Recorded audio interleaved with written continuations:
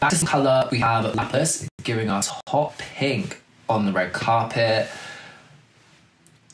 I'm vibing with the colour. I don't know if it's their stage looks. As I said, the Asia artist wall performances seem to go up really, really slow. I'll add it on screen, you know, as I'm editing. I do really love the use of pink and white.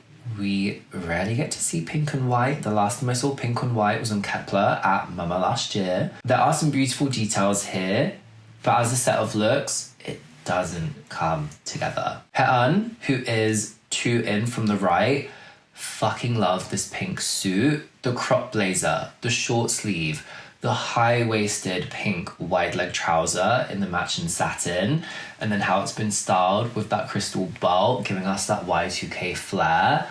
Love those details. I also like the shape of the bust and then how we get the pink band. Gives you the band and then also the nice shape under the bust. I don't feel like we need the styling with the pink gloves. I think that is kind of overkill, but other than that, best look here. Bessie, who is three in from the left. I find this look really interesting because of the cut of the blazer piece over the top, and it does look like it could be a separate blazer and a dress.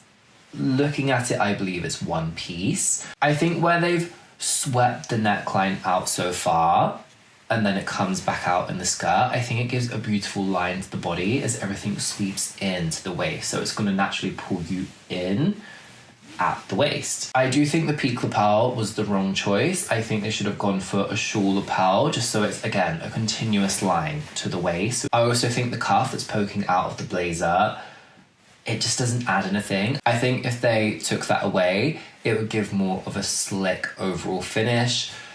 The shoe boot, we're not even going to go there because it's criminal, but I do think this is an interesting look that has a lot of potential. Shana, who is right in the middle, Lapillus's leader.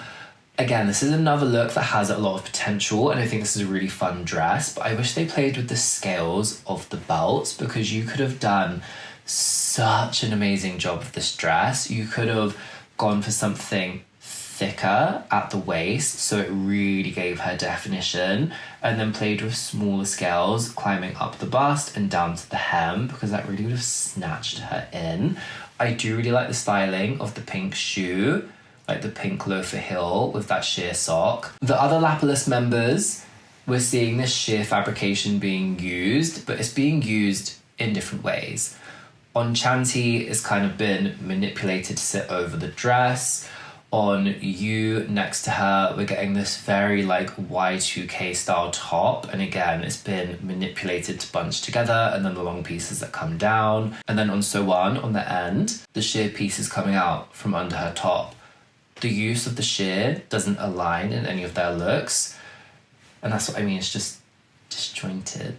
But fuck yes for the use of color a lot of potential, such a big improvement on what I saw from Lapillus last year at the Asia Artist Awards. So honestly, tops to these girls. Back to the men.